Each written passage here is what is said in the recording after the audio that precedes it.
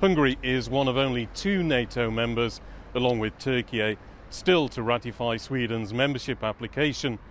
It's also stood out among NATO and EU states for its opposition to the supply of military equipment to Ukraine, but it has supplied humanitarian aid and called for a diplomatic solution. And amid all of this, its relations with Turkey eh, have been growing stronger. I'm Andrew Hopkins, and I've been speaking to the Hungarian Foreign Minister Peter Szijjártó one on one. Foreign Minister, thank you for talking to TRT World. First of all, I wanted to ask you when will Hungary approve Sweden's NATO membership application? Well, uh, I'm afraid I'm not the right person uh, to raise this uh, question to, given the fact that um, the government has uh, done its homework quite uh, a long time ago. And uh, we have submitted the proposal uh, the draft legislation uh, to the parliament uh, already last year to um, approve the membership of Sweden to NATO, but the parliament has not decided yet to put this issue on the agenda. You know, uh, I don't want to be hypocritical. I have to admit that uh, since the government enjoys a very solid and wide-ranging support uh, in the parliament as the outcome of the elections, of course, the the ruling party has uh, more than two thirds of the seats uh, in the parliament, uh, it can be seen from far away that it's only up to us. But the thing is that uh, our parliamentarians uh, are very strong personalities. Uh, they have won a series of elections already. Most of our MPs um, have won five, six times. they, um, they have been um, going out for the votes. They have been competing uh, for the votes on very tough competitions on many occasions, and they have won uh, the seats. They have gained the trust uh, of the people.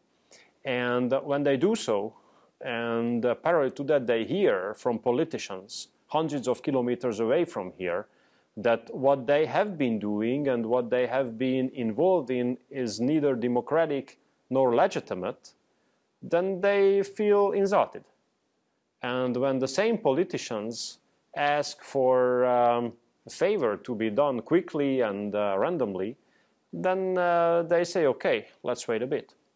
And to be honest, I understand their feelings. Because if these politicians who are now urging us and them to make quick decisions make statements that what we are doing is not democratic, then uh, how to understand the situation? So it's up to Parliament, it's up to our parliamentary group uh, to decide. Of course, they are looking for certain um, gestures or insurances uh, that similar results will not take place um, in the future. So uh, the uh, Parliament will come back to um, session sometimes in the middle of September. And then um, the parliamentary group, that's the Parliament, uh, will have the chance to decide about the time. Now, you mentioned there about the problems you've had of, with criticism from other countries. You said a few weeks ago that the approval of Sweden's NATO membership is now just a, a technical matter. But before that, a few months before that, you had issues, you said, with Sweden, with politicians there criticizing uh, Hungary, the leaders here, the politicians here, denigrating them. So has this issue been resolved and did you get any undertakings from Sweden on this? No, actually nothing, nothing. So when I said technical issue, I meant what I just told you, that uh, it's up to the parliament to decide. The draft proposal is there, so it's only up to the parliamentarians to decide when they would like to deal with this issue. That's what I meant, a technical case.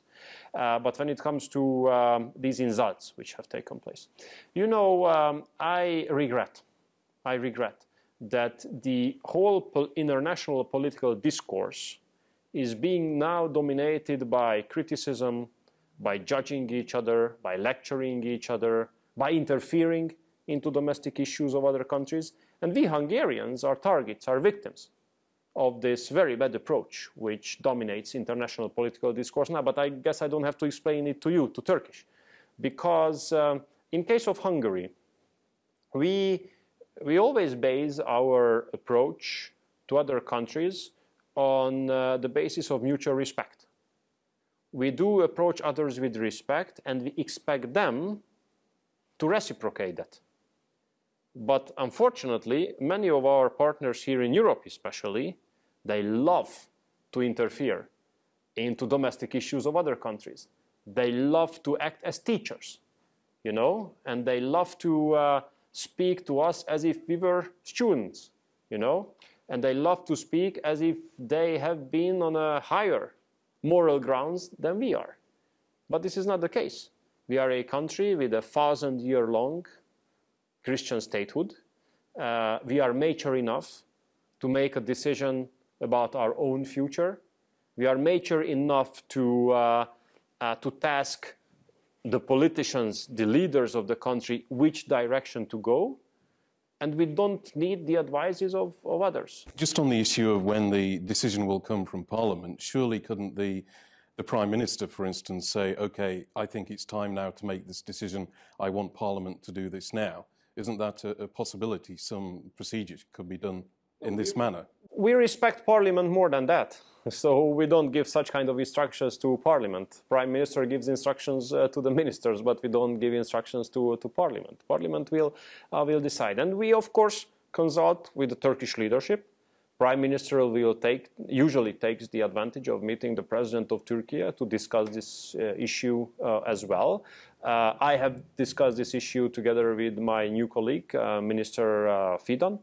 Uh, and we agreed to stay in close connection. And whenever the parliament of any of the two countries makes a move, we um, share this information with each other. Your Prime Minister Viktor Orban has said that Sweden will not lose a minute in terms of its application for membership of NATO because of Hungary. So this sounds to me possibly like that Hungary is waiting for Turkey to approve uh, Sweden's application and then Hungary will do at the same time. Is this a true reflection of the situation at the moment? Well, uh, of course, we do not want to be and will not be a hurdle uh, to the membership of Sweden. But uh, since we understand uh, the, the draft proposal has not been uh, put on the parliament of the Turkish Grand National Assembly, we are not uh, late at all. And uh, the visit of the president of Turkey to Hungary gives us the chance to, to further um, communicate with each other and coordinate with each other uh, on this on this matter. So we um, we this has been the same. this had been the same when it comes to Finland, for example. So the Turkish leadership has um, shared with us the information, uh, how they were uh, progressing on this uh, matter, and we could adjust. On that occasion, you both approved Finland's yes. membership within days of each other, I think it was. So this showed, uh, I think, to a lot of people that there was this sort of cooperation. but we never denied that. Mm -hmm. We never. We are allies. Mm -hmm. We are allies in NATO, and uh, we have to take uh, the interests and the, um, we have to take into consideration the viewpoints of each other seriously. So if we speak about a military or a defense alliance, which is NATO, then the trust must be the basis of the cooperation. Let's talk about the war in Ukraine yeah. as well. Uh, again, on the agenda is the idea of how we can bring this uh, conflict to an end. And there's been a lot of talk in the media recently people like the uh, former president of France, Nicolas Sarkozy, and also uh, a, a, NATO official been reported as saying that maybe Ukraine can give up some land in order to make peace with Russia. So, where do you stand on that particular issue, and in particular with uh, Ukraine's territorial integrity? Look, we are a neighboring country to Ukraine. So that puts us um, in a special situation, special position, because having a war in your neighborhood or having a war thousand kilometers away, this is a different situation. On top of that, what puts us in a unique, not only special, but a unique situation is that there's a significant Hungarian community living in Ukraine. Uh, and that's an indigenous community that had been living there always, forever. So uh, there's 150, there are 150,000 ethnic Hungarians living as a community in Ukraine. And members of this community have been dying, unfortunately, during the war, given the fact that they are Ukrainian citizens. And um, according to the conscription and uh, mobilization regulations in Ukraine, many of them have been conscripted and then deployed to the uh, front lines and died, unfortunately. So uh, we are a nation in Europe in a unique situation, members of which are dying in this war. So when we argue in favor of peace as soon as it's possible, hopefully, possibly yesterday, you know, to come, then it's based on this approach. And unfortunately, our European friends and transatlantic allies are not able to understand the situation. So that's why we don't deliver weapons. That's why we do not allow weapon transit through Hungary. That's why we urge for peace, always. Peace as soon as possible, because the sooner the war ends, the less people will die, and less Hungarian people uh, will die. And we, would, we don't want to see any more casualties, and we don't want to see any more Hungarian casualties. So the insurance for no more casualties is the end of the war, namely peace. So therefore, for us, peace talks to be started, ceasefire to be established, this is number one on our agenda. Of course, we as a country which had to fight for its own freedom uh, during its history, we are absolutely uh, in favor of the respect uh, of uh, the uh, phenomenon of uh, territorial integrity and sovereignty in case of all countries and that goes to Ukraine as well. So yes, we stand up for territorial integrity and sovereignty of Ukraine, but we stand up very, very heavily and very, very determinedly uh, in favor of peace and uh, ceasefire. There is a, an article on the, the website of the uh, Hungarian embassy in Washington at the moment, which suggests that uh, Hungary's full support for Ukraine depends on the treatment of the ethnic minorities within Ukraine, which I presume specifically refers to the Hungarian minority in the country there. So does this position still, is it still true for you that this does depend on the treatment of the ethnic minorities there? When it comes to um, our support to Ukraine's territorial integrity and sovereignty, that's unconditional. When it comes to our support to the Ukrainian refugees, it's unconditional. Look, we have received more than a million refugees here in Hungary, more than a million. Look, and we are a country of less than 10 million people. So we have received more than a million refugees here in Hungary. There are more than 1,300 schools and kindergartens in Hungary which are enrolling refugee kids and students. We give uh, exactly the same rights to the refugees what the Hungarian citizens do have when it comes to access to healthcare and education. We support them to, um, uh, to have job. We support them to have a kind of normal life uh, here in, in Hungary as much as it is possible. These are all torn apart families. It's hard bleeding to see because, you know, the, the man, the fathers had to stay. Terrible. So um, it's unconditional. But when it comes to um, our national community, national minority in Ukraine, we do expect the Ukrainians to give back all the rights to this community which they used to have before 2015. So our conflict or our debate, our debate with Ukraine on the issue of the rights of our national minority is not new. That goes back to 2015. 2015 was the first date when, uh, when at that time Ukrainian leadership started to violate the rights of the Hungarian community diminishing the rights, especially when it comes to access to mother tongue education, culture, public administration, and so on and so forth. And now the, uh, the rights of the Hungarians are much more limited compared to 2015. And we cannot accept that. And we don't want anything extraordinary from the Ukrainian leadership. We just want one thing that the rights which the Hungarians had in 2015 should be restored nothing more, just what they already had in 2015. So we don't see the reason why these step backs have been made. And look, the Ukrainians would like to join European Union. Uh, in order to join European Union, you need to uh, respect certain common values. And among the common values, there's the issue of respect to the rights of national minorities, for example. So um, in order to support Ukraine on progressing on the road to the European Union, there's a very tough condition by us for sure, which is that they do have to pay respect to the rights uh, of our national uh, community. So when it comes to uh, helping their refugees and standing up for territorial integrity and sovereignty, it's of course unconditional. But when it comes to supporting their integration into uh, European uh, institutions, uh, then there's a condition. Now, Hungary is also one of five EU countries which doesn't allow the import of Ukrainian grain at the moment, but it, it does allow the transit of it. Um, I understand that you've asked for this situation to continue until at least December this year. Now, how long do you see this situation continuing? Because it seems to be sort of connected essentially to the war. So I imagine you think it will finish once the war finishes. Is that right, or what's your your current situation on this this subject? Look, the situation is the following.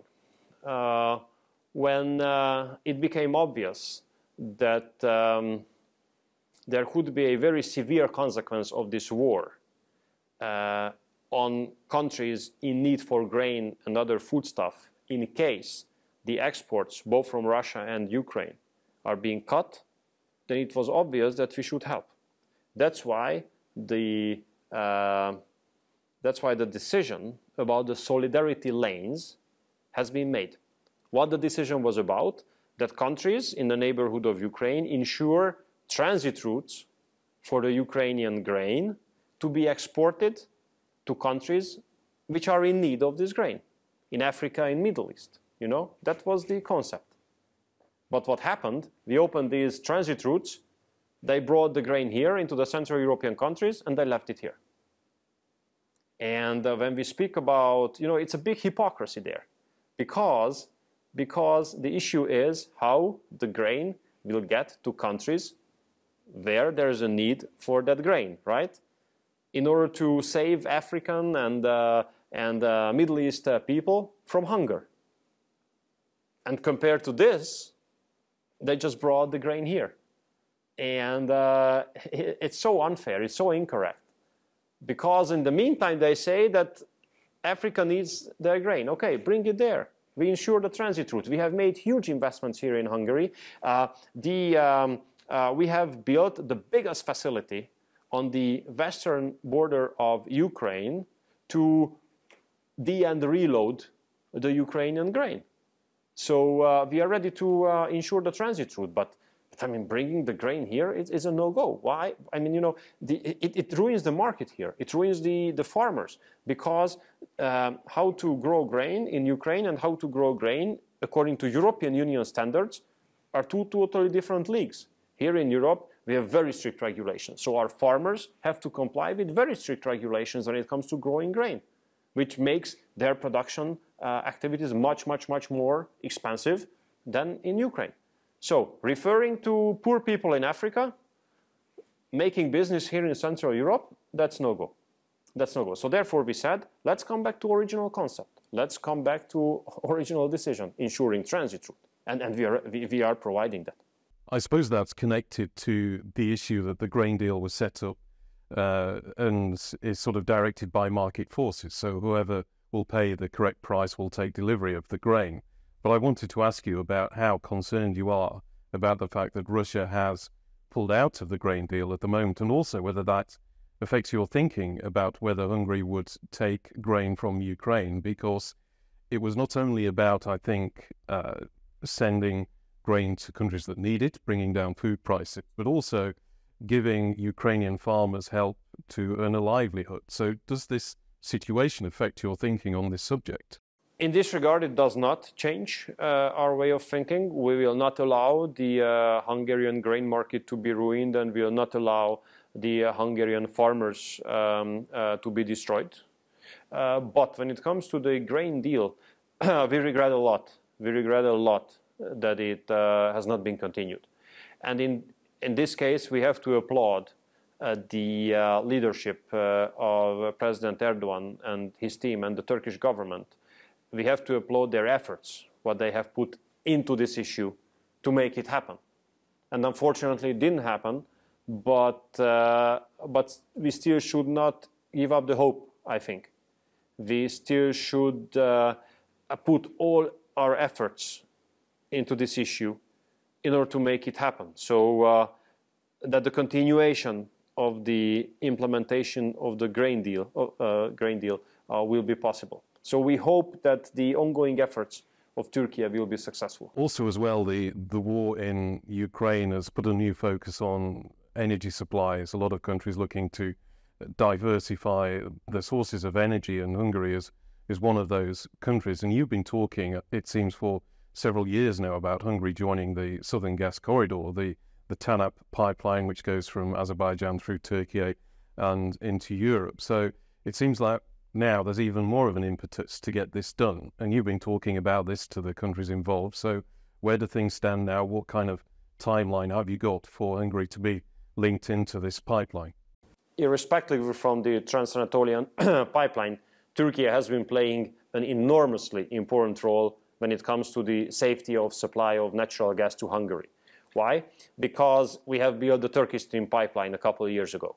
And if we had not built Turkish Stream together with Russia, Turkey, Bulgaria, and Serbia, now we would be in a deep problem, to put it mildly. Because under the new circumstances, we would not be able, we would not be able uh, to supply uh, Hungary with enough gas in case Turkey was not a reliable transit country and in case we had not built the uh, Turkish Stream pipeline. So uh, the capacity, incoming capacity of this pipeline to Hungary is 8.5 billion cubic meters, while our annual consumption is somewhere between 9 and 9.5 billion. So basically, in case of an emergency, touch wood, it doesn't happen, uh, we would be able to supply ourselves exclusively through Turkey. But of course, we don't want to experience such a situation. We have put a lot of efforts into diversification well before the war. So why we are making diversification has nothing to do with the war. That diversification efforts had been started much earlier than that.